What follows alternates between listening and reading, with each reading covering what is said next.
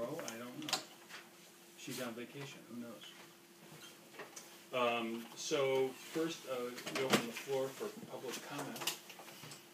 Want to thank You you have any gentlemen for thoughts about this? sacrificing your Saturday last week Oh, You're welcome. to evaluate the streets and the weather that was out there. I also want to say I'm tired of having a dirty car for the past three, four summers because I can't wash it. We've had a water ban for four summers running. And I'm wondering if there's any connection between my dirty car and the fifty to hundred tractor trailer trucks I see coming out of Industrial Drive every day, I wouldn't know. since they're full of Northampton water. I don't know how much, what the volume of There's absolutely no connection between the two.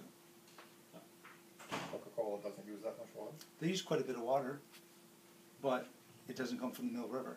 Well, I know that, it comes from the reservoir, It comes from the reservoirs. it drains into the Mill River, Um, ultimately.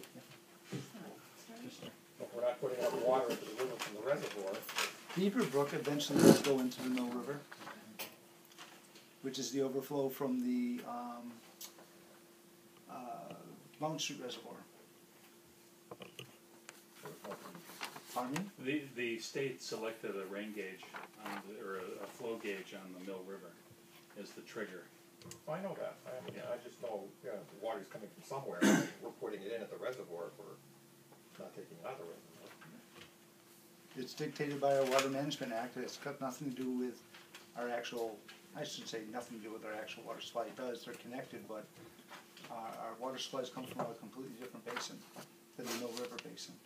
But Because Northampton's is in the Mill River Basin, which is a medium stress basin, if I recall correctly, we have these permit conditions that we need to adhere to. All right, thank you. Odd. We're in the middle of the public comment period. No, I got here at the right time. Ex- I think you did. Uh, I'm Harriet Frickman of Bottoms Road, and the Bay State Association and its neighbors are interested in some clarification about the Clement Street Bridge. Twenty years ago, we restored the bridge, and we were told at that time that with regular maintenance, we'd have it easily for fifty or sixty more years. So my initial question is, what constitutes regular maintenance, and is there a maintenance schedule? Because twenty years ago, um, it became clear that to keep this bridge, uh, was way preferable and way, way more economical than replacement. So, we'd like to get some information, um, about maintenance on the Clement Street Bridge. I've never seen a schedule for maintenance on any of the city bridges since I've been here. The, the problem, Harriet, is that, uh, although it's true, replacement would be a much more expensive proposition, the state has a program where they will, uh, pay for rest, replacement of bridges. Unfortunately, when they do that, they want to meet all of the requirements, so there's gotta be a sidewalk, there has to be room for two-way traffic. It's gotta be seismically strong enough for a five oh earthquake, I mean, there's a whole Oh, yeah. litany. And so what they would put in at state expense looks nothing like what the neighborhood would, I'm Correct. sure, prefer. The state says, that's fine, we're not twisting your arm, Mhm. uh, the city can gold plate it for all the state is, uh, cares. Mhm. It's our money and they feel, um, it's certainly our prerogative to fix it up any way we would like. But then we wind up in the- just an awful, like, would you lay off four teachers and two firemen and sell a police cruiser so that we could do X, X, and Y, and Z? Uh, it's just an awful, Well, the first question is simply, what, what constitutes regular maintenance? I mean, what are we talking about? And, how- and then, and then, what's the cost of that? You know, it, we, it may be nominal, I, I have no idea, but it seems to me that that needs to be looked at before, um, you know, if we're talking about fifty thousand dollars a year, that's a whole lot different than a two million dollar bridge. Even if it comes from a different pocket, I mean, you know, that's, that's already a, a tertiary question. So on this particular bridge, Greenman-Pedersen put out a por- a report, I believe it was in two thousand eight. I just actually emailed it to, 2007. two thousand seven. I just emailed it to Alex Giesling and to Gary also. Um, because of the nature of that bridge, it needs to be basically, the rust needs to be taken down and repainted X number of years. Um, we recently have gotten a quote to do, um, repainting of the hotel bridge up in Leeds as part of the, uh, CPA project for the Leeds Civic Association. And they, they were quoted six hundred thousand dollars just to paint that bridge. So it's, it's a very expensive bridge to repair and the rust is back to where it was about five years ago when it got closed again. It's come back and there is no maintenance budget to do that work. Well, it wasn't closed for rust five years ago. It was, the last time it was closed, it was closed because of rust on the chords and they had to refix, they had to do some Truck had structural hit one repairs, chords. right, and they Yeah. had to repaint them. Structural elements are rusting through on that bridge. Right. Bridges don't heal themselves. That bridge, I'll speak out of school a little bit here, that bridge is in tough, tough shape, and it's not gonna last forever. And the Greenman-Pedersen report outlined a series of, um, projects that would need to be done, um, you know, to keep it a viable bridge, and it was a lot of money, more money than the city has to invest in an old bridge like that. And I think a real hard decision needs to be made, because over time, you get these inspections and, you know, these older bridges, they just get, as time goes on, they get in worse and worse condition. And then, you know, big trucks drive over them and, you know, it's a real, it's a safety, it's a real safety issue. And, you know, it's a lovely old bridge and lots of historic value, but at some point, somebody has to ask the question about if a big truck is gonna drive across the river in that location, do you want it to get to the other side, or do you want a car to get to the other side? And if the answer is yes, then something needs to be done that's gonna cost a fair amount of money. Harriet, about ten years ago, we were talking about that bridge, and, uh, we were talking about how we could reduce the load on the bridge, s- see if we could coax it, a little more life out of it. mm-hmm. And, um, you'll, you'll be able to correct me if I'm wrong, but my understanding is we are not allowed to keep trucks off of, uh, one of the city streets. We, we were talking about having a low bar, like a, a limbo bar, and you- if you couldn't get through the bar, you can, couldn't get on the bridge. Having it like, you know, set it eight or nine feet so that only cars could go below it.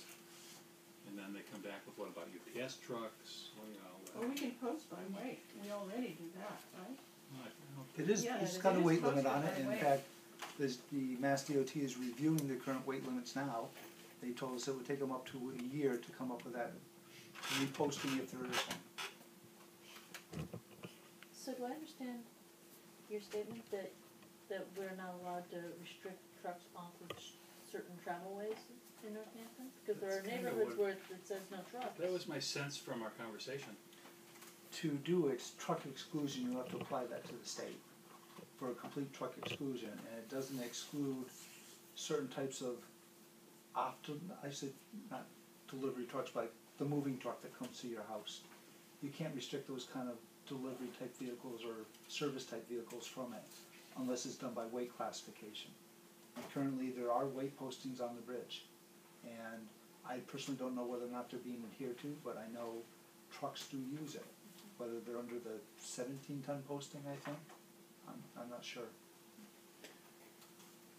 But it seems as if it, uh, if we're talking about trying to coax more life out of a bridge that's going to eventually fail, that we should be taking whatever steps we can to, actually, I know we've exceeded the three minutes, can I suggest that we put this on as a topic of discussion at our next meeting? Um, Because I do think it's a pretty reasonable question. And there must, you know, the state's holding us to a, a- you know, either we fix it at our, at, at our design standards, or it's all on your dime. And there's nothing that we're allowed to do to sort of uh, prolong the life of the bridge, it just seems like something that uh, we should be able to argue back at that. Is there anything we could, um,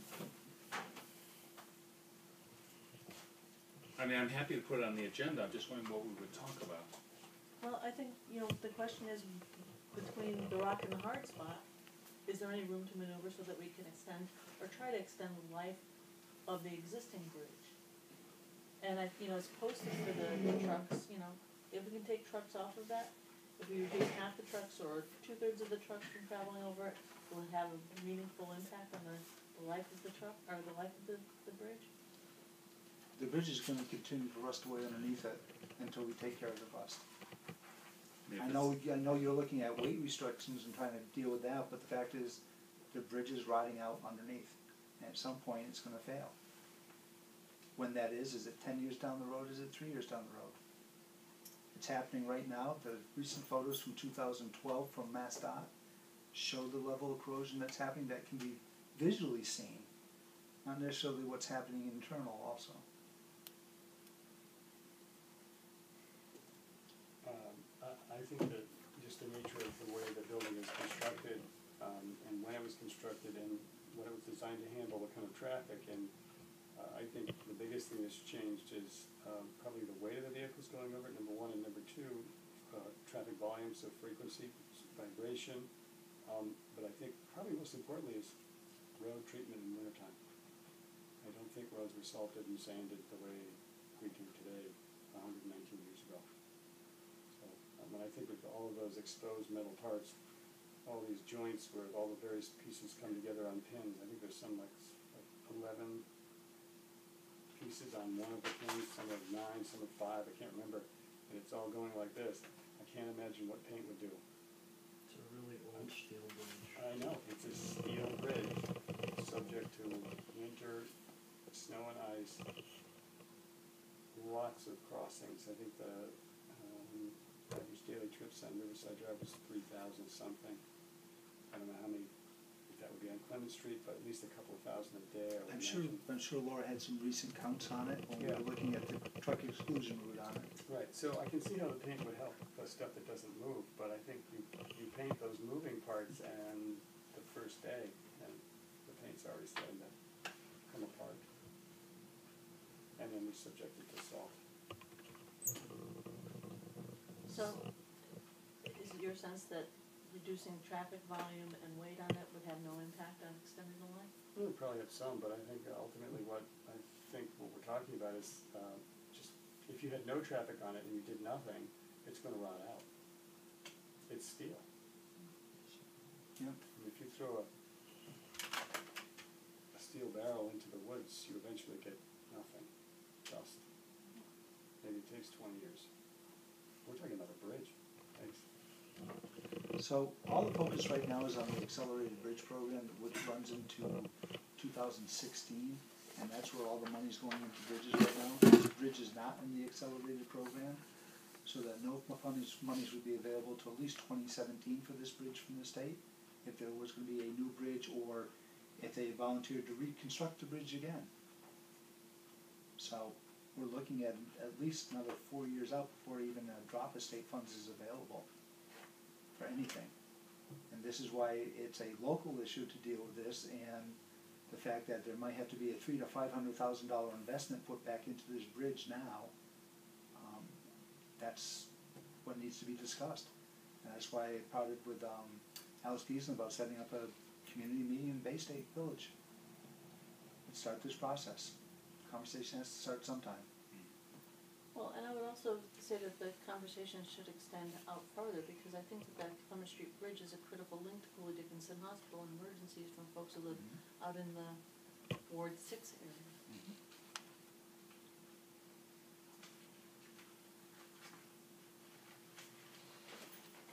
Does that help? It's a start, it's a start, I mean, a, a community meeting, I think is, is, is excellent. So we're waiting for the uh, state report?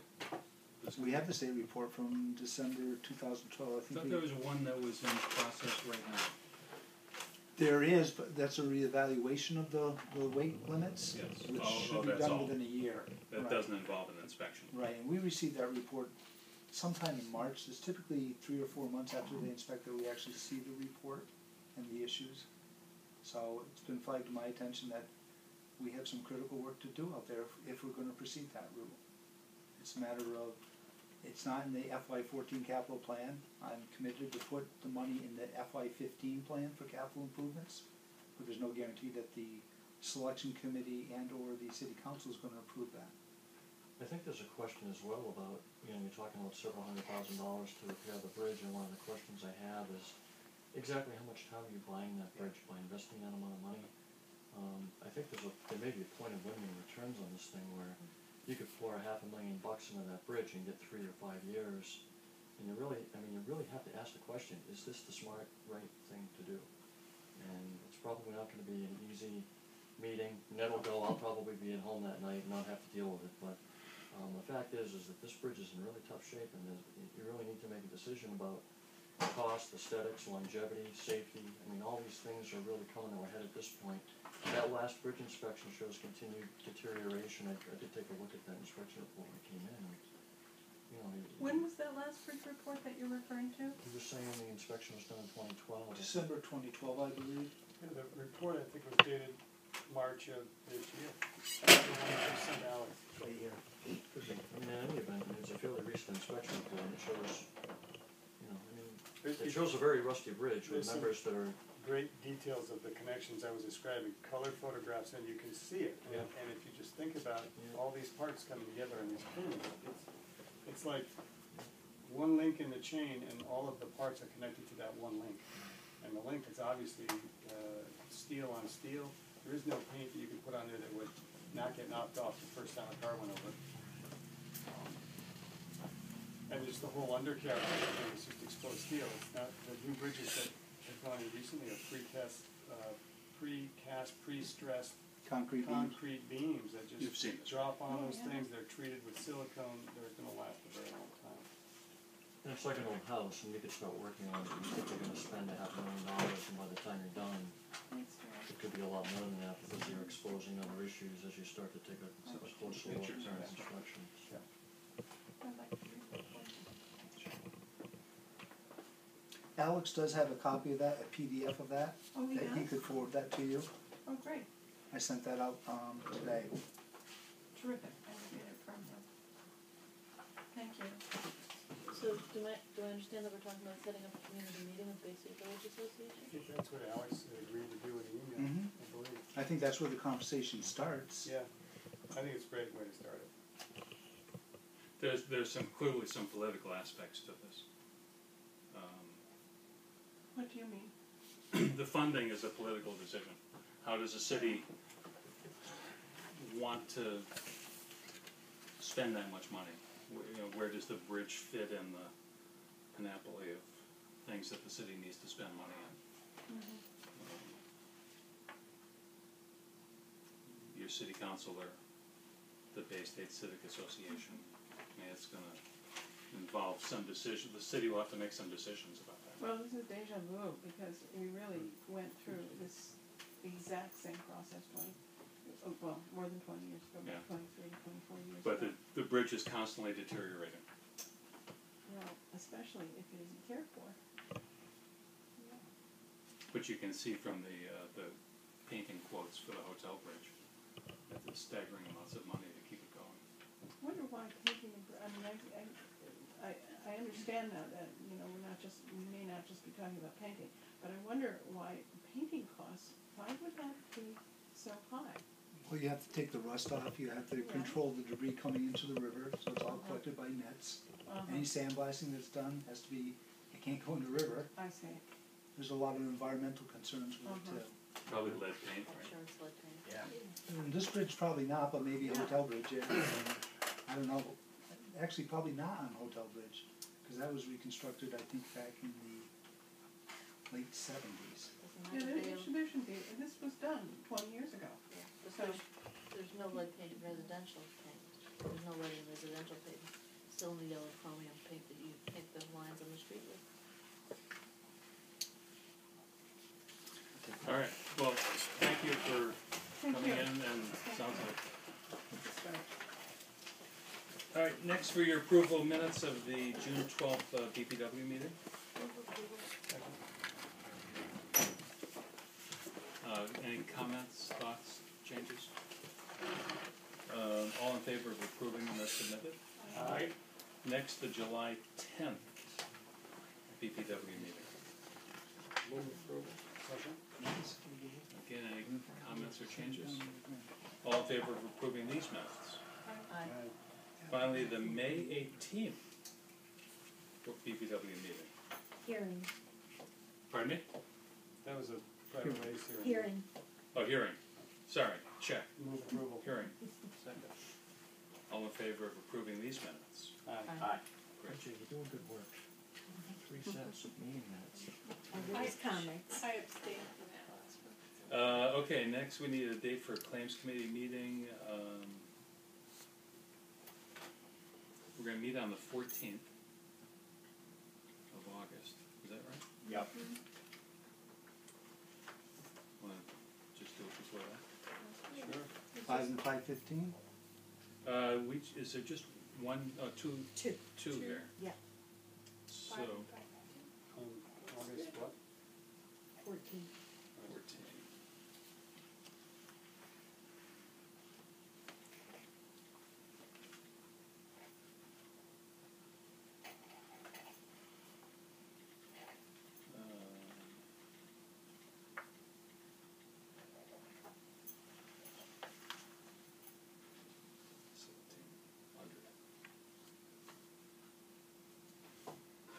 Contract for polymer to Aries Chemical in the amount of eighteen thousand seven hundred dollars. This is, this is the annual contract for the water treatment plant. Um, last year's price was a dollar sixty-one a pound, this year's low bid is one seventeen a pound. So once again, we see another reduction in our chemical purchases for this year. We had three bidders, bidders range from low bidder eighteen thousand seven hundred and twenty dollars to a high of thirty-six thousand dollars. All in favor of approving this contract? Aye. Aye. Uh, next, change order number one to, um, contract two nine eight twelve for phase one and follow-up dam inspections, the GZA. Uh, this is a time extension only. Move approval. Second? Change order, time extension, GZA dam inspections. Um, The work, on the scope of work is pretty much done, I think we have a, an invoice that needs to be paid, and we're having just a paperwork issue with the, the, um, the completion date for the contract having been pa- having passed, so we need to extend it and we pay the, the last bill. All in favor of extending this contract? Aye. Change order number one to contract three one oh eleven for comprehensive wastewater management planning to Kleinfelder in the amount of oh, oh, oh, oh, time extension only, also. So, um, let me step back for a second on these time extensions, you saw a few of these at your last board meeting, we're seeing them again. The auditor's office has flagged outstanding contracts that we're still working on, but the time that we originally estimated is out. They've asked us to update these and get time extension contracts on them so that they're, uh, can pay the bills, basically.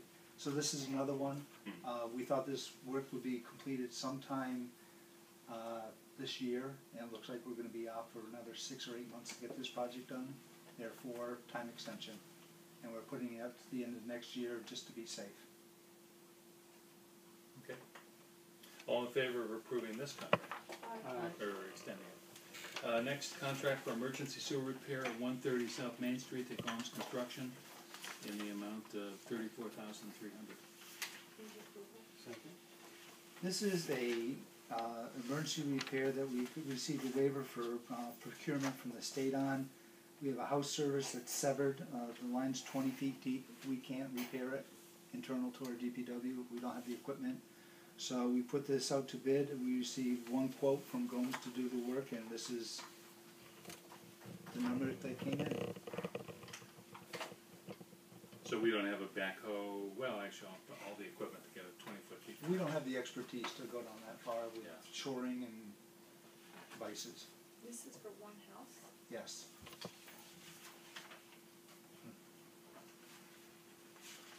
Where's South Main Street? It is at the corner just past the new bank and Goggins Real Estate. It goes down to Federal Street, or, um, excuse me, Oh, okay. Elm Street, Nantucket All Street. Right. Um, okay, all in favor of approving this contract for emergency sewer repair? Aye. Uh, next contract for paving, uh, pavement marking paint to Ennis Flint in the amount of twenty-two thousand five hundred. Move approval? Second. This is to purchase our white, yellow, white and yellow paint, and also the glass beads we use for reflectivity. Uh, the prices have gone down on the, the paint. Uh, white paint was ten forty-five last year, this year it's ten twenty a gallon. Yellow paint went from ten sixty a gallon to ten thirty a gallon, however, the beads went up from forty-one cents a pound to fifty cents a pound. Uh, this is, uh, we have a paint machine, uh, that we do all the centerline striping and white fog lines, and that's what this is for. And over the years, we've talked about different paints and plastics, especially for crosswalks, I know, is this still the best product? Uh, price wise, yes, longevity wise, no, we have to paint every year, but thermoplastic has a lifespan of about five years also, but it's about five times the cost. So it's kinda, which way are we gonna go? Uh, we have the equipment to do it in-house, so we don't have to pay wage rates to do it by a private contractor, Mm-hmm. so there is some savings there. But if we're doing it every year, labor costs, we're paying labor costs every year. We are paying labor costs, but they're built into our budget. So instead of doing the labor costs once every five years with a more durable paint, we're doing it every year with a less expensive paint. Cause we don't have the funds to spend that kind of money on thermoplastic. I mean, we'd be looking at, uh, one, it'd to be probably at capital improvements, and we're probably looking at, I'd say minimum, probably a couple hundred thousand dollars to do the city streets. The, um, this might be off topic, but there's been some new striping and signage on Pine and Prospect, is that, I sent out an email in regards to that, that was a Mass DOT project for the six hundred something most dangerous intersect, or high crash intersections in the Commonwealth. And we were allowed, we actually had six, and they did all this enhanced marking and signage as part of that project, um, on the state's nickel, not ours. There was only six intersections? There were six intersections that were flagged that had more than nine crashes over three years. It seems like I've seen them, I've noticed them. Uh, It's like the fog lines and center lines about fifty feet from the Yep. intersection on all four corners, and I think there's more than six intersections. Maybe you've maybe been doing other intersections in-house, Mm, Not to my knowledge. no? No? You sure you guys ever get out? I ride a bike, you know, I see this stuff. We drink a lot of coffee, you. Okay. I don't get enough coffee, maybe that's it. So anyways, there was, uh, six intersections that, uh, we asked the state to do underneath this program, um, that were identified. There's supposed to be from their statistics that there would be a approximate forty percent reduction in crashes at these particular intersections. One of the intersections, we're actually gonna be working on a temporary four-way stop, Right, which is the Woodlawn Jackson Yeah. Prospect I Street. think that was the first one I noticed. Yeah, so that, um, hopefully by mid-August, we will have a, uh, temporary hundred twenty day stop sign there for an experiment. Um, and that stuff is thermoplastic paint, I believe. That's what they did? I don't know offhand, I think it is. it looks, it looks like it's thermoplastic. Yeah, it did. Alright, so all in favor of approving the contract for pavement marking paint? Aye. Contract for force main design and construction services to Woodard and Curran in the amount of twenty-one thousand seven hundred. move approval? Second. This is a contract for design and construction management services to replace the force main that runs from the Bradford Street pump station uh, along Woodmont Road up to North Street. It's about a thousand feet of force main. Um, the current force main is a ten inch asbestos cement pipe that was installed around nineteen seventy-one. We had a, a break of that pipe in a sensitive location crossing a culvert, um, I three or four weeks ago, I guess. And we, we are concerned about the, uh, the integrity of asbestos cement pipe in the long run here as a force main, and given the, the importance of the force main to the, uh, servicing the industrial park and the high amount of flow that it takes, we are looking at trying to replace that as soon as we can.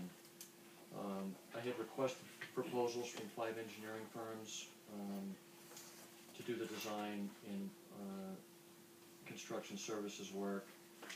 Um, proposals went to Stantec, CDM, wooden carin, Kleinfelder, and Tighe & Bond. Um, Curran had the lowest price proposal at 21797 dollars, and Kleinfelder had the highest cost proposal at sixty-three thousand three hundred dollars. Um, I reviewed the proposals, and the Woodard and Curran proposal looked really good to me, and have good rates and good estimate and things in order to do the work, so, um, that's what the contract is. And th- This is a permanent replacement. Any questions or comments? All in favor of approving the contract for Force Main Design and Construction? Aye. Next, contract for wastewater treatment plant clarifier number three, Water treatment plant? water treatment, water, one W, treatment plant. For chemically treated water line repair to Barbado Construction, the amount of four thousand four hundred. Move approval. This is uh, an emergency bid that we did to repair um, the chemically treated uh, water line that goes into one of the upflow clarifiers at the water treatment plant. Um, It is a, uh, there's a spool piece there that's leaking that cannot be repaired or plugged um, in any way that's effective. So the spool piece needs to be pulled out and replaced, and um, we requested emergency procurement through Joe Cook and the state in order to try to get this done as soon as possible, because we're having uh, some operational issues at the plant because of uh, needing to keep this clarifier offline. So um, the state approved emergency procurement, we put together a, a bid package and requested bids from five qualified contractors. Um, Methuen Construction, uh, Nickerson, Barbado Construction, RH White Construction, and West Construction Corp. Um, we had two no bids. Barbado Construction was the low at four thousand four hundred and fifty-two dollars, which is the contract we're asking, uh, for approval. Uh, RH White bid six thousand seven hundred and West Construction Corp bid thirty-seven thousand six hundred dollars. So we had a, a pretty good range. The, um, the engineer's estimate, and Howard did an estimate for us, and they thought it would be about a twenty-two thousand dollar job, so we're quite pleased with the, uh, with the low bid, so. That's a big discrepancy.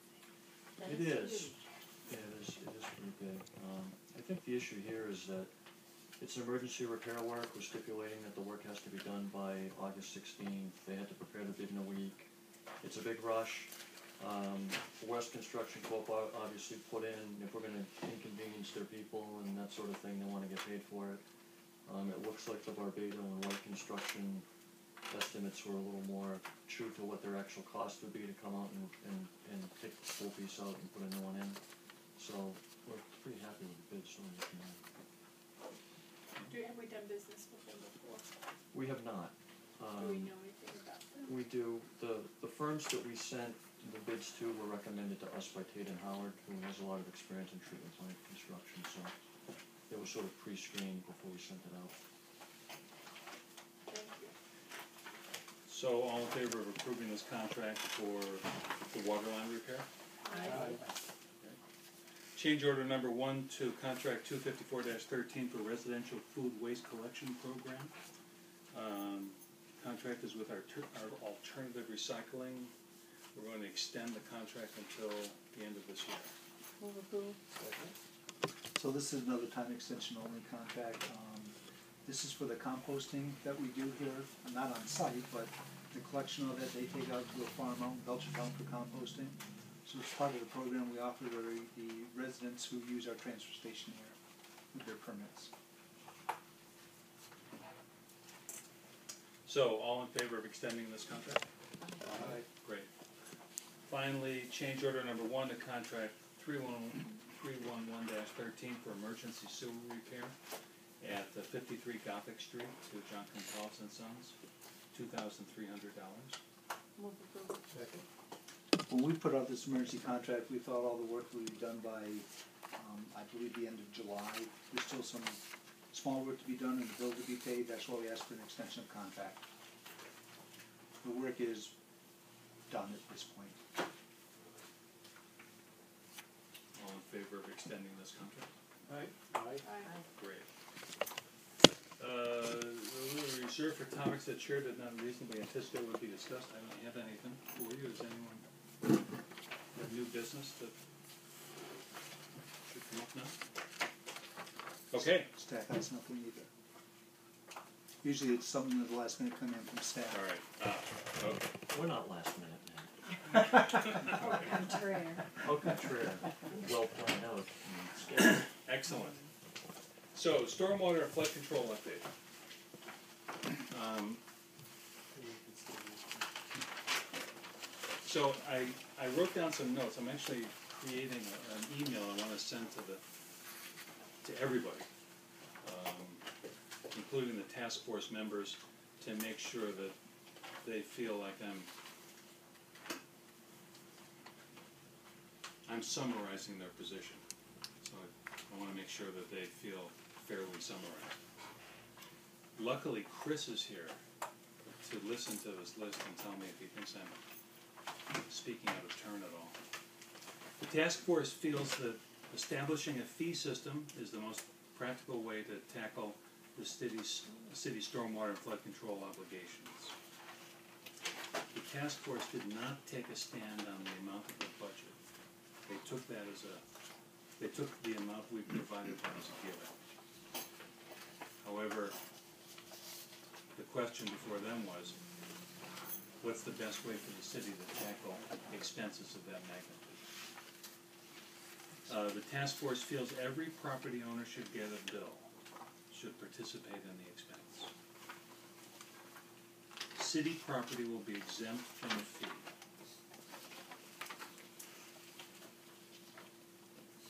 The task force feels that the city council should have final authority over setting the annual budget. Say that one again. The task force feels the city council should have the final authority over setting the annual budget.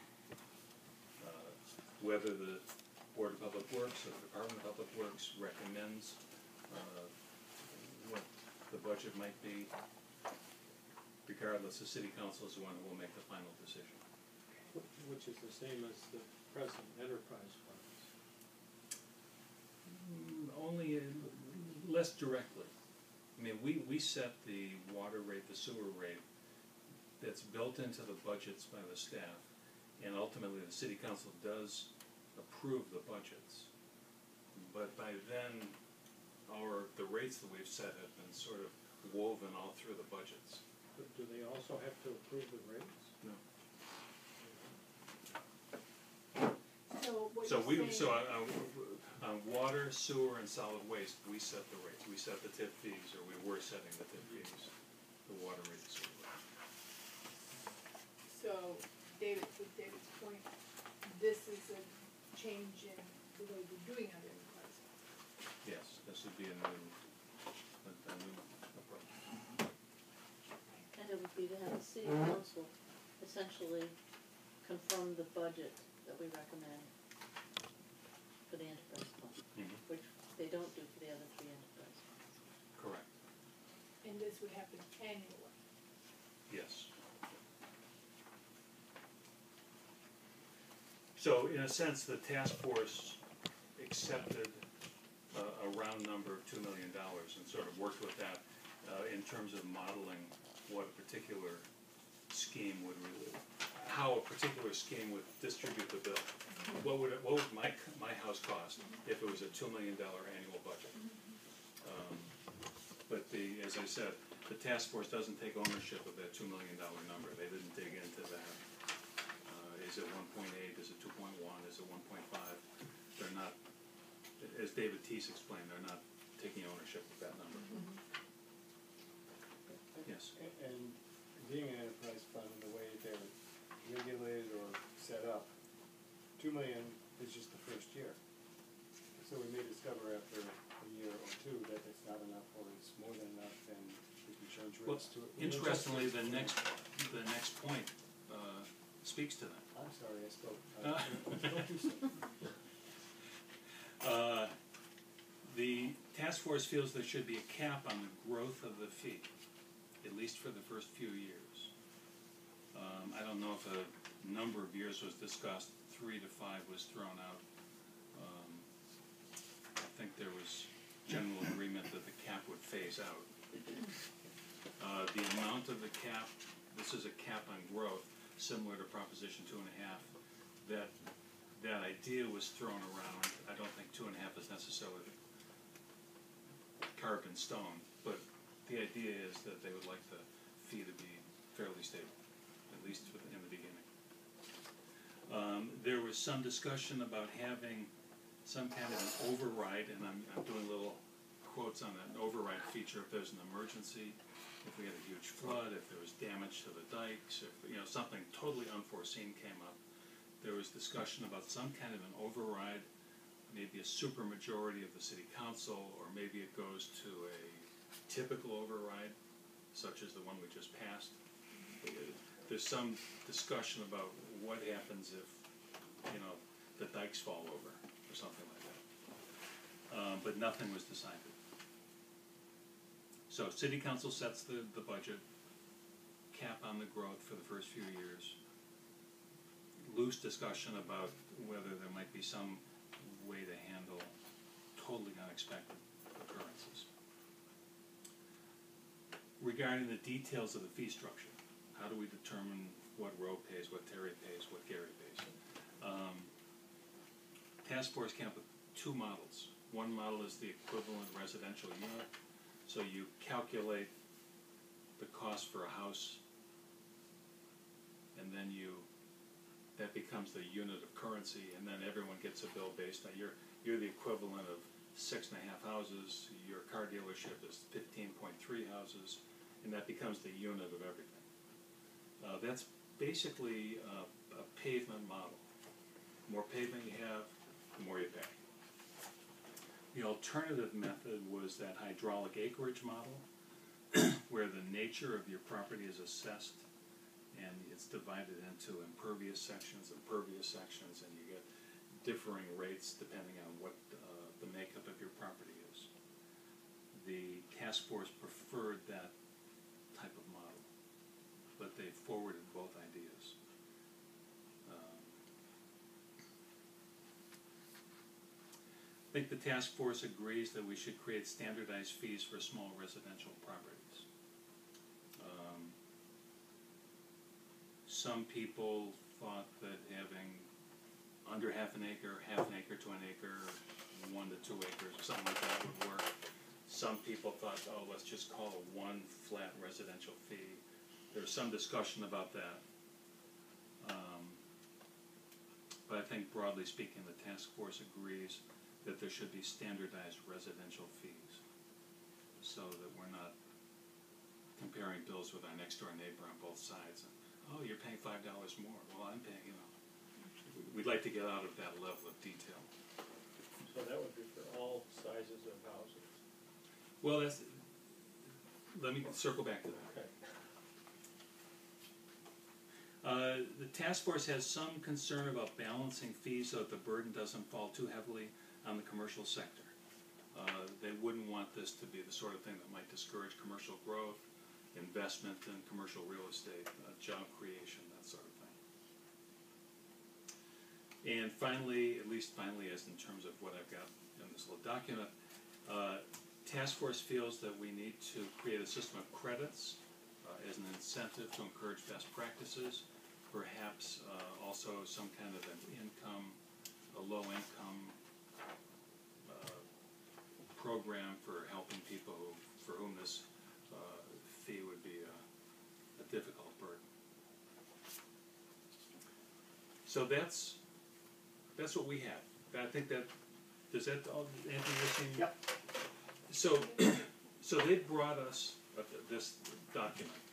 Now the city council has thanked the task force for their work, and they're moving toward referring the document to us. Uh, it got held up in a procedural um, question at the last city council meeting. Uh, three city councilors have called me, including the one who held it up on the procedural motion, and to say, we'll work this out, don't worry about it, you guys get to work. So the intention is that the Board of Public Works and the Department of Public Works keep working on this through the summer. Uh, we have two models for distributing the fees. Somehow they, they need to be joined. We have a clear recommendation that there be credits and, uh, as incentives, but there's no specifics to that proposal. Um, It's a, it's a great idea, but now what? To put some meat on the bone, as I said last time. Um, Those two areas, melding those two models and creating a system of credits are the part that I think the board can spend our, can best spend our time on. Uh, Other parts of this are more mechanical. Um, The, the thrust of what we wanna do is put together the framework for a prospective ordinance. So there are technical parts to this, how would the billing structure look like, I don't know if that would make it an ordinance or not. Probably not. There's a technical part of it that I've never seen, uh, of, of an ordinance. You know, the, the sort of thing that goes to the city council. We'll need the staff's help and maybe even the city solicitor's help. Uh, Jesse Adams, I guess, is uh, pretty good with this stuff. Yeah, I think it's probably gonna be a combination of looking at, uh, stormwater ordinances in other communities and also the city of Northampton ordinances that we have for the water and sewer system, right? I mean, we have, there's a Right. basic outline in the ordinances now for the other utilities that the city manages, so. Um, it would be a combination of those, incorporating information from the task force and whatever the board comes up with for, and the council comes up with the final recommendations on the fee and the credits and that sort of thing. So there are part, there are parts about this that I don't think require a whole lot of discussion or a subcommittee, like, I think if we were to make the case that, no, no, no, we should set the, the budget, I think we'd be spinning our wheels, we'd get nowhere with it, there's not much to talk about there. The task force was pretty clear, and I think the city council is in agreement that they would like to set the budget. So, not much to talk about, certainly no need to have a subcommittee to review that part of this. Uh, the billing structure, um, looks pretty straightforward. Uh, should it be a, an enterprise fund or some kind of revolving account? Again, from what I'm told by the DOR, it's a pretty cut and dry decision, it should be an enterprise fund. So part, there are parts to this that just don't need a lot of board time and really don't even need that much staff time. The only two pieces that I can come up with that we could really dig our teeth into are, what's the model for distributing the fee? And what about this credit thing? How can we ma- what can we come up with that's practical and, and feasible for credits? Um, can you give us a sense of timeline that we're looking at? I mean, when are we looking for the, when do we need the first bills to be paid? I mean, of course, you were pretty Well, if clear you, about us if you needing look- the money now, alright, they would like, and how do we then back that up into sort of a decision-making timeline for us? the, the hope is that in FY fifteen, beginning July July of next 1st. summer, Two thousand fourteen. about a year from now. The, the idea is, well, hope, hope is that a year from now, this, this can be up and running. So it would be, So in order to build the budget for FY four fifteen, Susan Wright and the mayor and the staff would like to be able to get to work on this sometime in January. Uh, that means you kind of start working backwards. The city council needs to address this November, December, October, you know, but some, sometime in the late fall, early winter. Um, and my other question, you keep working backwards, they, it has to come out of ordinance committee back to the full city council. Getting back toward Labor Day when they have to begin chewing on this. okay. so we're looking to, for something to come out of our work relatively quickly, by the end of August. Yes.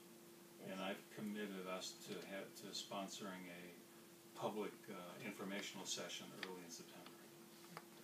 The other question I had is, I know that when we hired the consultants to draft the original, to do the original work on this, there was a lot of discussion about, uh, the implementation phase. Is there any part of that contract that's still alive and valid with them, and are we relying on any outside consultants to work us through this public process? Cause I remember a review process that some of the consultants we looked at, we, I thought that we engaged them because they seemed to be pretty effective in the public presentation and whether or not we were still into any of those contracts.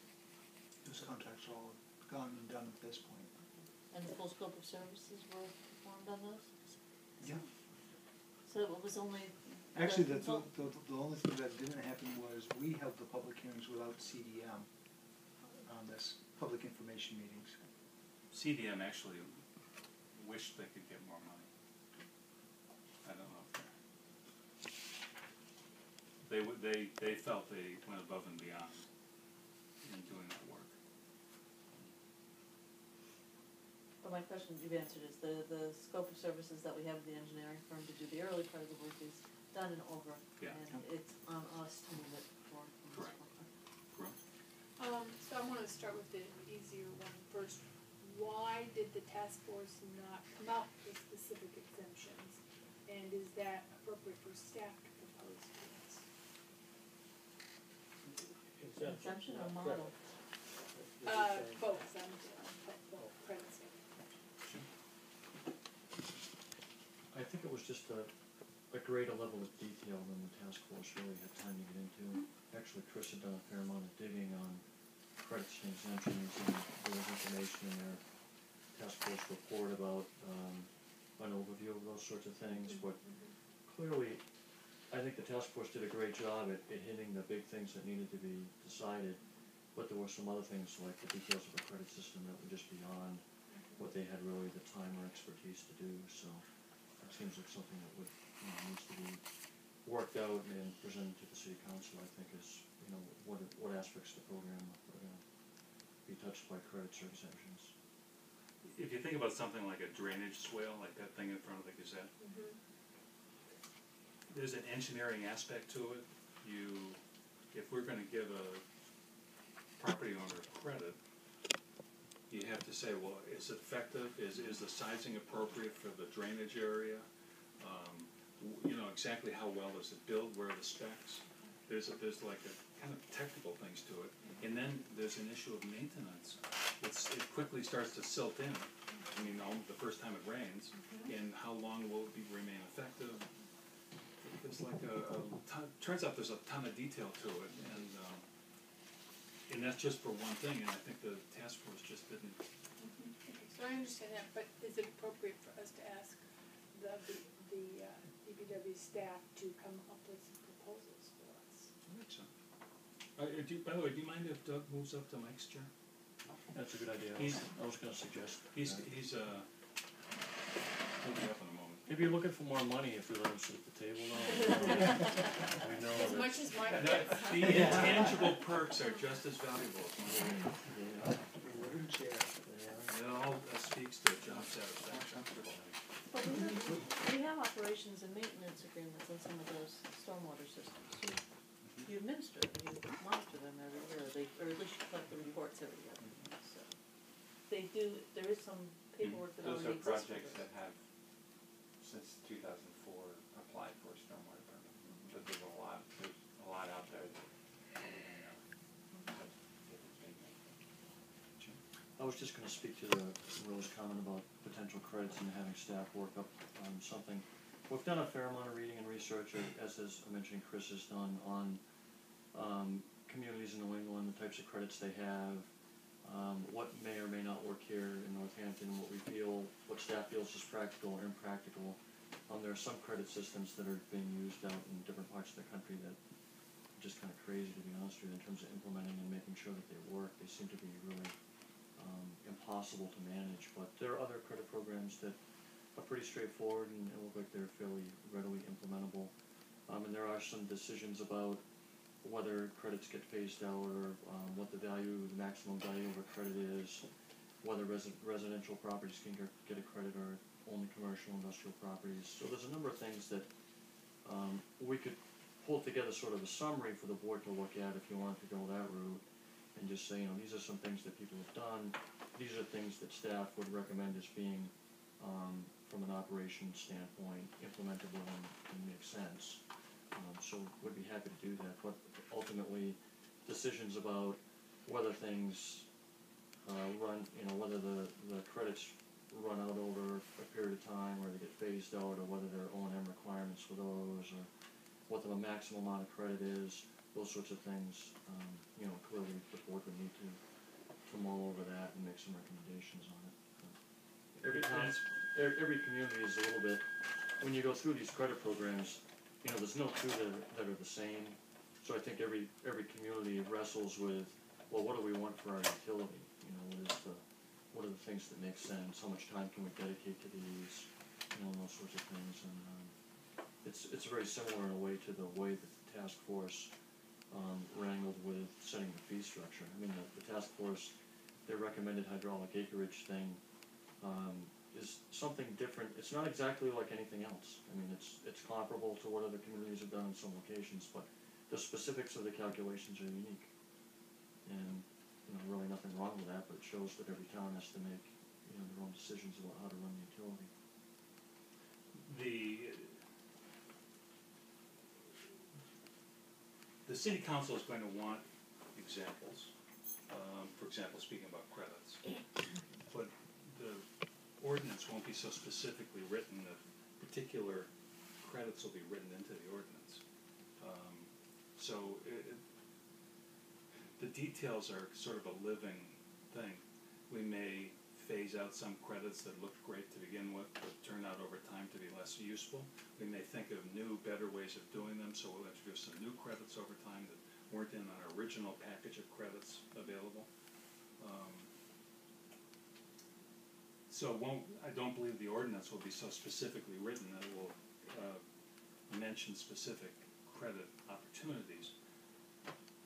But as I say, I'm sure the city council will want some solid examples of what we have in mind and what we think the credit, credits might amount to as a percentage of, in- of our gross income. Yeah, I mean, that, that's one of the, that's one of the, the, the factors that we'll have to consider, which is what's it gonna do to revenues? How, how big is it going to be? Um, the other one is, um, a, a decision about what your goals of your credit program is. Is it to, um, increase public participation and enthusiasm for it? Is it, in which case you'd want it to be as broadly applicable as possible? um, even if it was financially not all that significant? Or do you want it to, um, and a lot of communities have followed this model, reduce the burden on the stormwater and drainage system, either through qualitative or quantitative reductions in, in the amount of water that's entering the system and how polluted it is. Richmond, for instance, provides um, up to one hundred percent uh, credit for commercial entities that pre-treat their water before it enters the system because they've got a specific issue with regard to a river that they want to keep clean. So, you know, as Jim points out, each each community is going to be somewhat unique in what it, its approach to that issue is, depending on what its goals for for it are. And we're gonna, you know, we're gonna want to spend some time thinking about it.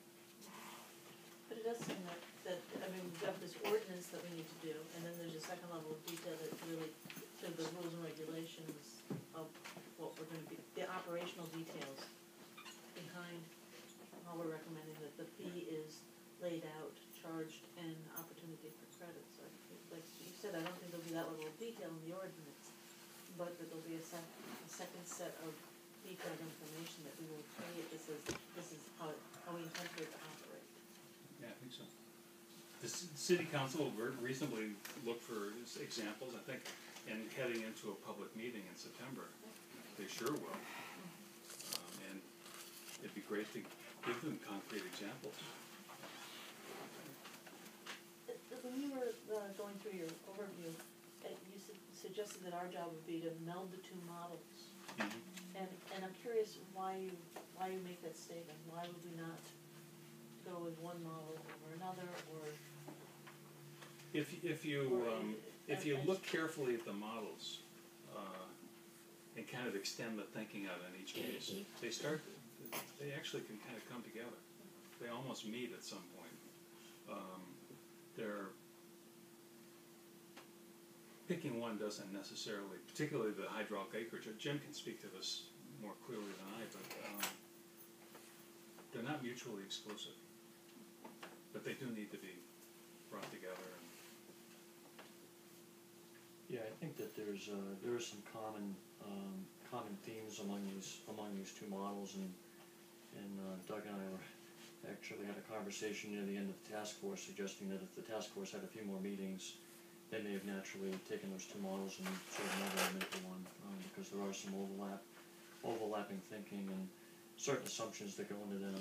The overall sharing of, um, the fees and the revenues are, are fairly comparable between the two. Um, so I think when you look in, at the inner workings of them, that they're not, um, that far apart from each other. But, um, in either case, I feel like there are a number of assumptions that went into the models that, um, need to be considered further. There's some little things that need to be ironed out if you pick one model or the other, and if you start playing around, then you might find that they're, you know, they, they look pretty similar.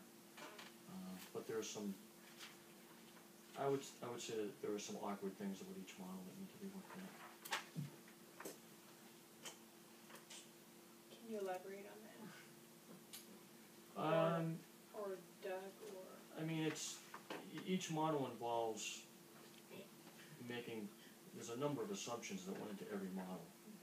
And because they didn't have an unlimited amount of time to look at each assumption and look at what the impact of changing, changing an assumption is, um, where they put their pencil down wasn't necessarily at the end.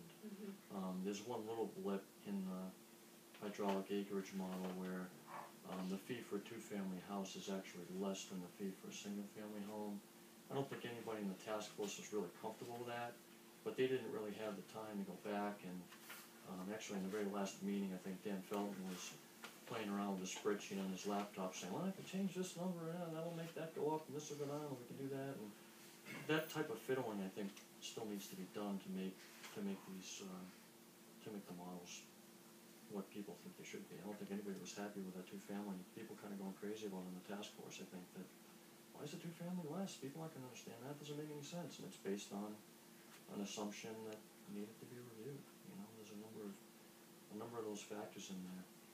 Another one on the, on the hydraulic acreage model is, um, there's a factor for impervious area, a runoff factor of 0.7 that was used, and there was a, a factor for buildings that was used at 0.9. And, um, when I look at that, well, I guess regardless of what I think, the, the, the impervious number of 0.7 was picked, and it sort of builds in the assumption that, um, some properties with a lot of impervious may already have detention basins or some other stormwater mm-hmm. mitigation system, so it sort of assumes that mm-hmm. there's some stormwater mitigation happening. Mm-hmm. So in a way, there's like a credit that's already being built in for pervious, for impervious area. So to me, I don't, if you're gonna have a credit program, you know, maybe you don't want that to be 0.7. I mean, the real number for that might be 0.9. so maybe the, maybe the building, uh, impervious coefficient and the impervious pavement coefficient would both be 0.9 instead of two different numbers. So it's things like that that I think, you know, the board could consider, does it make sense? And if you do make those the same, then you end up with two factors.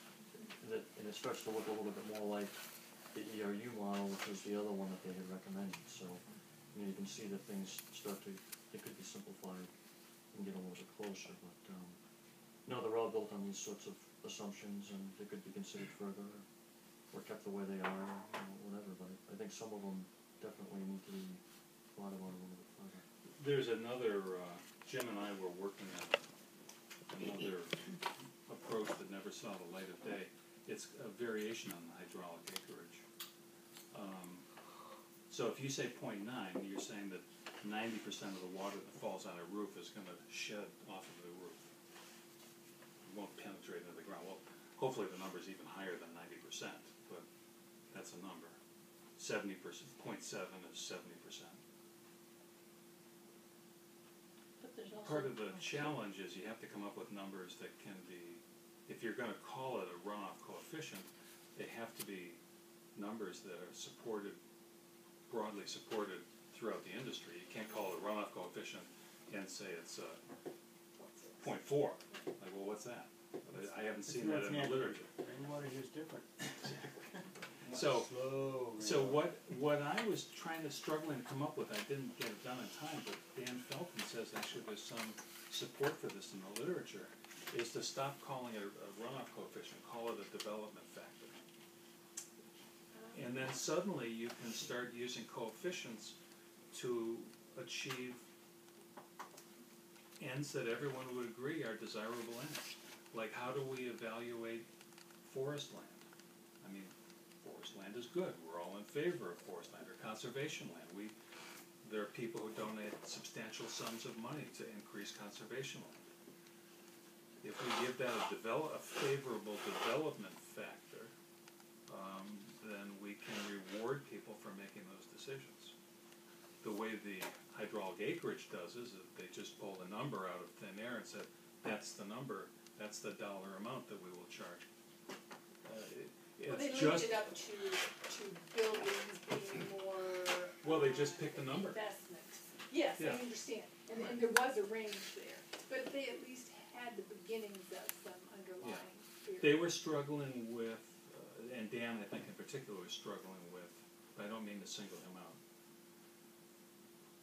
Tying flood control with uh, property safety, um, preserving property, saving property from the hazards of flooding. And whereas in, uh, you know, an open field, it could flood and the flood water goes away and you're none the worse for the wear. I mean, it- they're just, actually be an improvement, they were struggling with, you know, how do, how do we evaluate all of this? but the flood comes from stormwater, But not our stormwater. So- Their stormwater. who knows? So anyway, my, my point is that there's lot, there's lots of wrestling, but it- all of this, all of the models have some arbitrary, at some point you make an assumption, and de- using development factors is no more, uh, more le- no less valid, I think, than just picking a number and saying that's how much we'll charge those properties. But there's also the, the pollution factor in terms of the pervious, the stuff that comes off of pervious tends to be dirtier than the stuff that runs off your mm-hmm. roof. That is dirtier than what would come out of a, a forest. Right, so, you know, with a development factor, You could reflect those values. Yeah. So, so there's work to be done there. There's work to be done on credits. The rest of it, and I'm open to your thoughts, but the rest of it seems to fall out pretty simply. What's the billing look like? Who sets the rate, I mean, who sets the, uh, the budget? Um, Cap on growth of the budget? Uh, task force agreed there would be a fee, don't have to revisit that. Didn't? All, both, in both models, every house would be treated the same. The fee for every house would be the same. I think there's broad agreement that there'll be standardized fees for residential. Now, will there be a half and under, one half to one, one to two? Or will it be just one for all houses, or all houses under three acres? We could talk about that. So it's not a single fee per house, It's whatever, it's, it's multiple fees, Right. whether they're two or three or four or five. Dwelling units or, I mean, per dwelling unit as opposed to a house. Uh, I, I was speaking of houses. So if there's a two-family house, that'll be, They recommended a standard fee for a single-family house, a standard fee for a two-family house, and a s- standard fee for a three-family house. Anything with more units than that would be calculated, um, per development. Um, there was a lot of discussion early in the task force about breaking a single-family home into different tiers based on the overall property size, which is what Terry was kinda getting at. Sort of a tiered system within a single-family house system to reflect a house on a really large lot versus a house on a smaller lot to try to make that more equitable. The final recommendations didn't include that, but there was a great deal of um, support for that concept in the early models. Yeah. Well, I think that's really necessary, because otherwise you could have the smallest houses being the same as a house that's six, eight, maybe ten times as- as impervious. And it's, it it's all- gonna be a political issue. I mean, I, I agree with you about that. And it re- also relates to the, to the question of, uh, dealing with the needy, so to speak. And, and that it might be automatically built into the small house charge as compared to the large house charge. Well, since we're going down, since we're going down this path, I, I did have a question about with our GIS system and with our assessor data why we couldn't refine the data more specifically.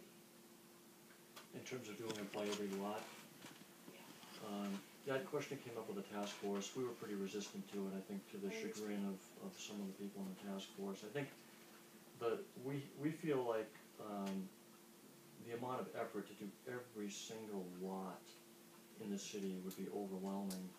And the expectation is that once, if, if you're a homeowner and the expectation is that the calculation for your lot is gonna be very specific, um, then it needs to be very accurate, and then if someone, what if someone builds a little bigger driveway, they put a shed on there, they put, they build a little addition on their house, then once the database is, is set up, which could take a lot of money to figure it out, then you'd be spending tons of hours every year keeping it up to date for every little change and improvement in impervious area.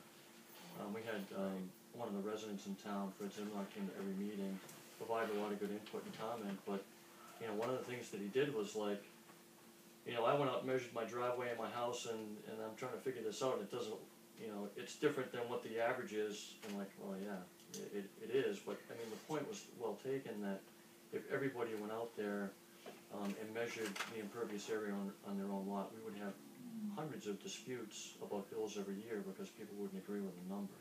So many, many communities, um, do an average, um, as, as the task force had recommended, using GIS data, which we feel is, GIS data is the most accurate, the most readily available, and, and what we recommend be used for, for this purpose. And I understand, and a lot of the literature reflected exactly what you said. My concern is an equitable issue.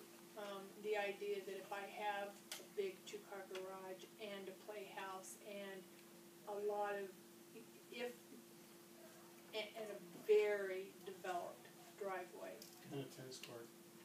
And a swimming pool. You know, I think that the, the, the answer to that really is, is taking a step back and looking at, you know, the, the bills that are recommended here, for example, the hydraulic acreage model, the, the bill for a single-family home was hundred and forty-four dollars a year. So even if you were to spend hundred thousand dollars figuring out the impervious on every lot, you're only talking about a few dollars one way or another for a single-family property. So it almost doesn't make sense to dedicate the resources to come up with, you know, my bill at my place is, you know, hundred and fifteen dollars and the city sends you a bill for one seventeen, or, you know, you're really spending a lot of money splitting hairs on a very small percentage of a bill. So, you know, in gross level, when you talk about it, someone's got a big house, someone has a smaller house, someone has a long driveway, somebody doesn't have a long driveway. In, in the big, in the big picture, in terms of the order of magnitude of the bill, you know, it's really, it doesn't make a lot of difference. So the average seems to be, um, the most universal way that utilities seem to deal with it. Um, using the tiers, I think, is a little more equitable. People love the tiers in the task force. I mean, there was really, most of them, the early models that were coming out were tiered. I mean, they And the city or Chamber of Commerce supports uh, tiers. And then the tiered thing, if you look at a street, they're usually fairly homogeneous. Everyone on the street, your neighbor on both sides have the same bill. well, Maybe, all- the- yeah. maybe the people up on, you know, Audubon have a different bill, but in that case, they have the same bill as their neighbors. Right. Um, Well, I, I There's also understand the, that. the shared, you know, there's, there's your lot that impacts the stormwater system, but you're also using the roads and the, the larger system, so there's the shared, that's, yeah, yeah, that, that's, that, that an average bill reflects that a little more, and it's, it's not this different thing just based on your property. We just think we might wanna get some wording down so that we have a defensible response to that, that's easy for us to, just- my tongue would love to have it to just pass that. So, create a unified model, credits. I think those are the two things. Um, When you say credits, you're really referring to ECIs, Yes. exemptions, credits, and incentives. yes. Credits and incentives, I, I think there's so much overlap there, I think it's just It two really is, it's, a- it's, a yeah, it's a, it's a, it's a, it's a, it's a phrase, but without, without a real meaning.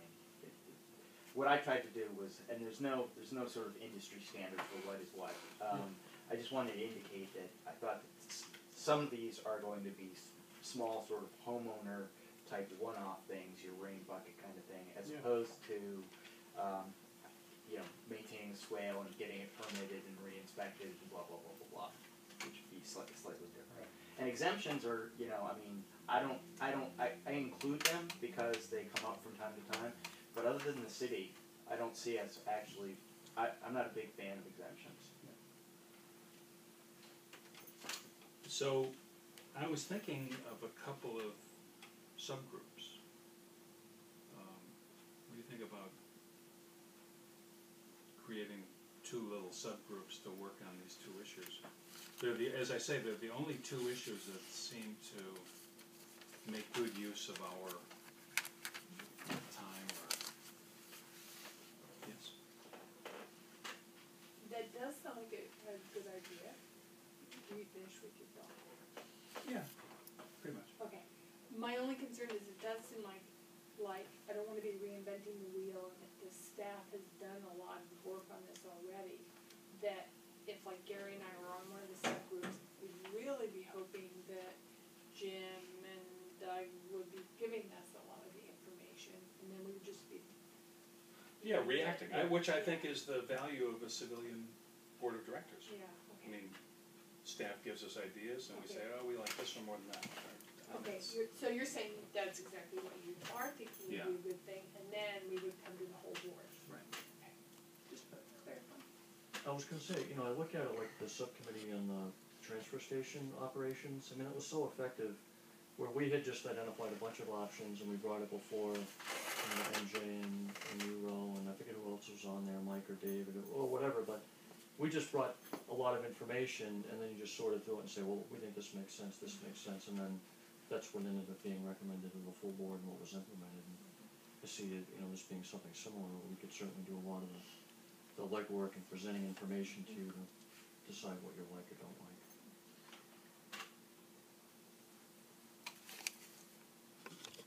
I know Chris would like to be on exemptions I'm all about exemptions. Great, You just said you don't believe in exemptions. You guys, You just think it ought to be there. Yeah. Looks good. No, because I mean, uh, you know, what we did was, in looking at options, was we looked at what all other communities, their decision-making process was and, and how it fits with us, so, um, you know, that, so, yeah, I'm I think it makes sense. forward with that. I like the idea of giving the public some incentives and the rain barrel thing, but ultimately, everyone has to pay in, right? So if you start with a vacant lot, it's still gonna have runoff eventually. Well, especially in heavy rain. Yeah, and we do winter. have the Connecticut River that could flood downtown. So that has nothing to do with. we have So to- would you like to be on this committee? Sure. Excellent. What was the other choice? Uh, melding the two. Firing squad. I'll, I'll stick with the incentive committee then. He's, he's, yeah. Um, What, what kind of, what kind of, uh, uh, snacks would we have on this? No. Maybe they were helping decide. Chocolate croissants Oh, on, yeah, on alright. the other I'm one, sticking with not on incentive. yours, not on yours. my daughter's a nurse and she was, uh, recently on a committee with, um, some doctors. And, uh, she was so amazed, she took a picture. At the doctors' meeting, they had beer and sandwiches. The nurses were, that she showed the picture to were like stunned. Why? Had no idea. Well, the doctors, you know, the nurses, they'd have water from the drinking fountain and that'd be about it. Well, So, you know, you'll have to work on your committee, we don't, do whatever you want is fine. the doctors are better at fundraising, I guess. Doug's treat, I mean, you know, Doug is a member of the committee. We don't drink beer here at No. Public Works, so Only Wine. Wine and- yeah, yeah. Stormwater. we don't drink beer. Well, my Happy to careful copy it- background, I'd copy be it happy to on look the on the list. other committee. David and MJ, do you have any? I'd, I'd like to see the mer, I'd like to be involved in the merging of the thieves. I'm very curious, Okay. because I think there's a lot, it- it's interesting. Same, Big group on this, okay. I don't. Mike don't is, get um. Uh, uh, Mike is away, he's got a two-week vacation, and he's got a one-week, not a vacation, but he'll be away, Let's give them a bye. yeah. Yeah. Don't wanna know, but. Oh yeah, actually he would have. He was. He's sorry to have missed it. Yeah. Uh, but between now and uh, the end of August, it's pretty much out of action. And we are looking for on August nineteenth to have a conversation with the joint committee on where we're heading on that. Yes, and. Uh, so the city council was going to officially ask this group to begin this work, and it was um, posted this, the request was postponed at the last moment, uh, due to a request for a minority reconsideration. Owen Freeman Daniels thought that the city council could be, um, perhaps more involved in, in this, in this process. Uh, although he's not positive. Just, just one little time to think about it. So, three city councilors have told me, look, you guys get going, including, including Owen. Uh, it's more they're just thinking about it, thinking about how best to be involved. But it's possible they'll want us to give them some updates at their August meeting. Their August meeting, the city council's August Hmm. meeting, because we did have it, it is an agenda item for the August nineteenth joint committee that we Right. delayed by a week, so we'd have a second Board of Public Works meeting to And is there, I think the uh, city council is the fifteenth. Well, we moved the joint committee to the nineteenth, it would usually be the twelfth, but we wanted it to be after the DPW, BPW meeting on the fourteenth. Mm-hmm. City council's first and third Thursdays of the month. I think they might have some, something going on though in August. Okay, something different? Yeah. Okay. Summer session? Yeah. Did you say yes? Yeah, they usually always in the summer only meet once a month. Yeah. Like June, July, and August, so. Yeah, I, the fifteenth sticks in my mind, but I may be wrong. Um, that's actually, that's what I had in my calendar. So we'll have to figure that out. It's possible they'll want a little bit of an update at that meeting. So, Gary, Chris, Doug, credit incentives and exemptions, CSIs. This- ECIs. CSI, crime scene investigation, yeah, oh, come on. Uh, and this group with Jim, oh, Jim, you'll probably wanna go to all of meetings. I love it. I, I love that. You're trying to make up private ways. Hey, listen, I don't feel bad about private things. I want you to know. I was not crying by not making those meetings on Saturday. I was not at home crying because they didn't invite me. But he was following us on Google Earth, oh, that's where they must be right now. If I was with them, oh, It was a great experience and I'm glad it's over. Yeah, well, found, no. I found another Okay, one in the. so, So do you wanna make, so let's, should we make a date? yeah, we have to make a date for, uh, these, you guys wanna huddle, Right now? and we'll huddle? They have to be So, Will, posted. are you on the rate, are you on the rate subcommittee? And what, what are you, you're just gonna float, cause you love I'll be, everything I'll be home crying, cause I'm not going to And these are all posted, so everybody's welcome to come to them anyway. Um, But they're also staff involved, so. no.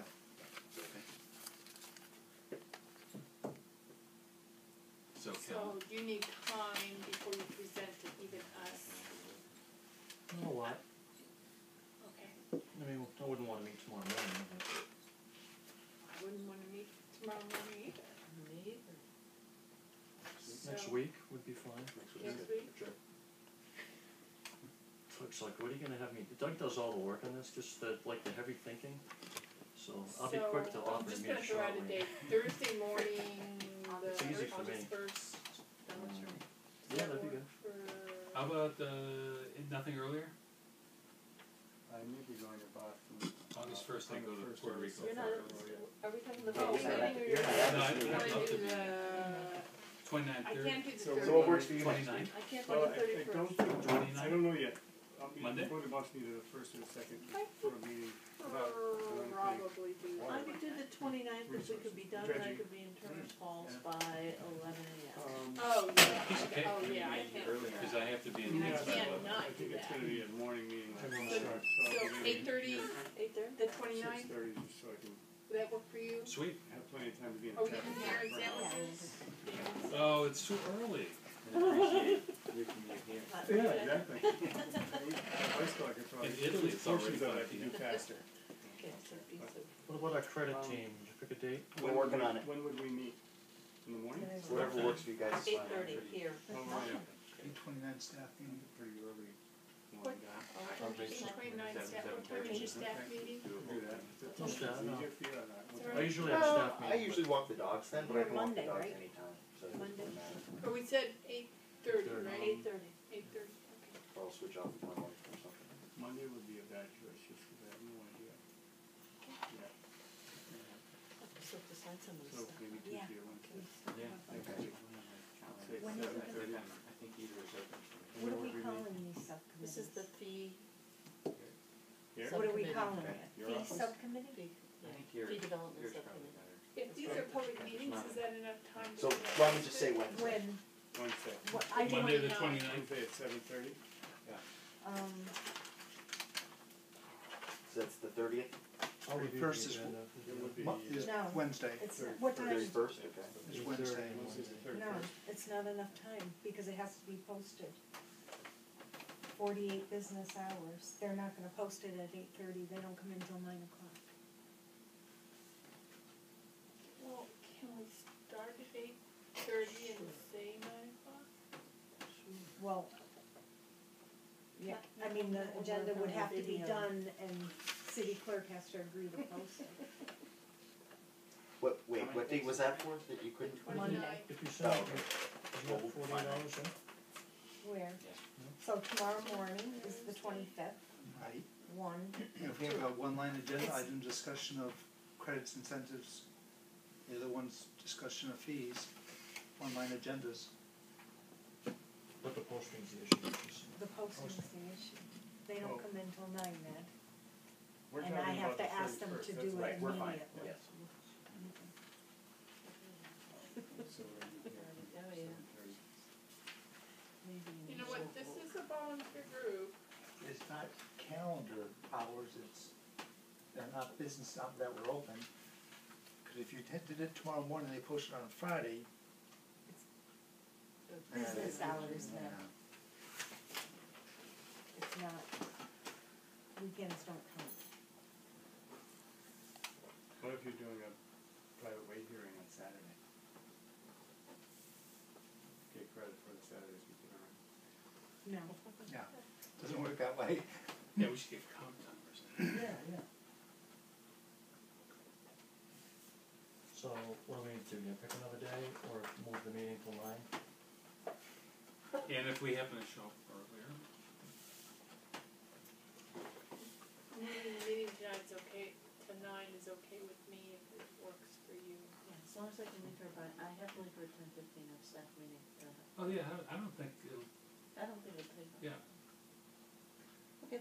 We'll all Okay, so smoke nine cigars o'clock? and we'll, we'll make a smoke We filled can also be here early Oh. for a nine o'clock meeting. Yes. and, um, Okay, Nine.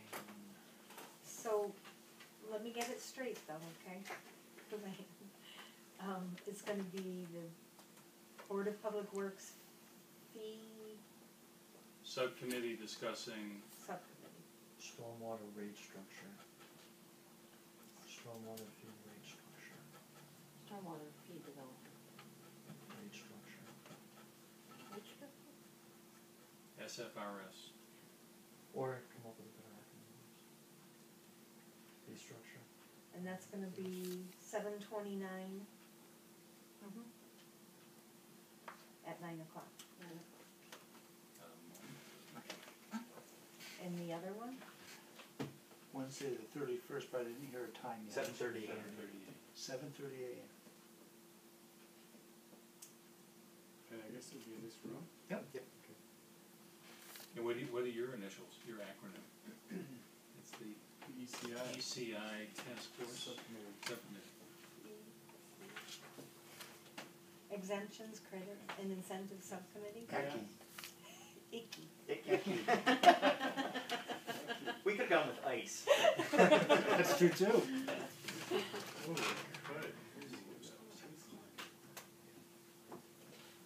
And your meetings are gonna be an hour long? Yes.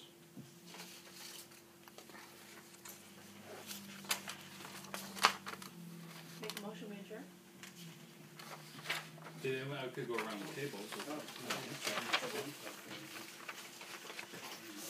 Very last one.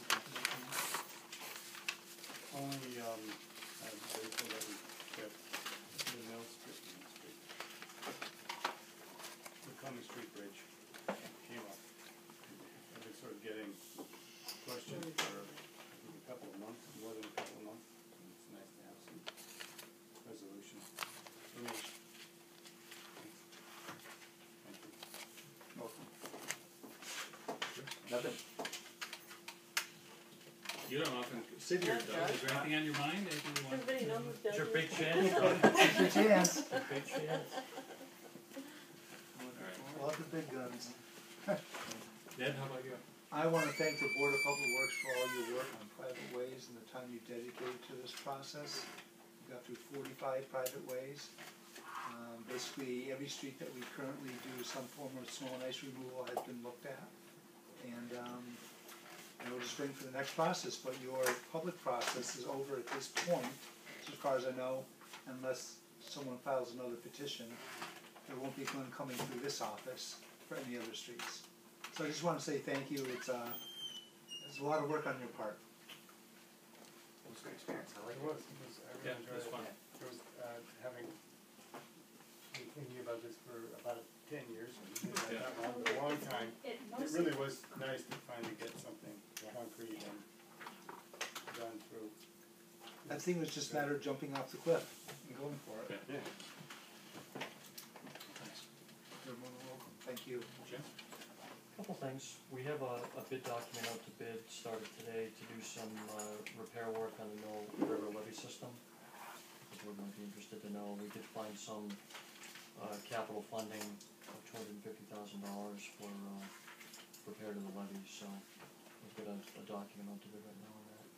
What kind So of work this are we is- talking about? It's mainly, uh, clearing, grubbing, levee repair, seeding, some concrete, uh, concrete repair work, some other types of stuff. It's a lot of odd, kind of odds and ends types of, types of things. And these are, these projects address the corps, Army corps, They start to, yeah, okay. where'd the money come from? capital improvements. From, this capital improvements from about four years ago, there was three hundred and fifty thousand dollars set aside for drainage in the city to look at. And so this was actually looked at and programmed for this particular project, at least to kick it off anyways. It's gonna be more than two fifty, I believe, but at the end, So you said this is the Mill River levee, so this would be from Paradise Pond Dam down to Route ten, that stretch? Yeah, some of it's along the diversion canal as well, so on the other side, Well, both sides of the river, Mhm. but that's the section of river. it is. yeah. And the other thing I wanna do is thank Ned, he gave me last, the last board meeting off, I took my wife to dinner on her birthday, she was quite pleased, so I want to thank him for letting me take the evening off and do some sagging. Where'd you go? We went to Coco in Easthampton, which is excellent, Hmm. first time we've been there, so if you haven't been, I recommend it. You That's all I too? got. It's all good? All good. All good. Okay. yep. Make a motion, we adjourn. Okay, yes, yeah, no, I don't want to say, no, go ahead. Make a motion, we adjourn. Second. All in favor? Aye. Great, thanks, everyone. Great, thank you, everyone.